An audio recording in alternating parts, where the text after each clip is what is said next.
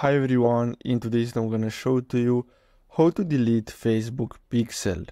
So basically what you'll have to do is simply go on and then click on see more and then here you'll have to simply go to Meta Business Suite and then here what you'll have to do is simply go on to your business settings and then under data resources here you're gonna have to simply click on data sets and then here you have to simply select the pixel that you want to remove and then simply click on connected assets and basically after that you'll have to simply click on this trash icon and that's all you have to do in order to delete a pixel on Facebook.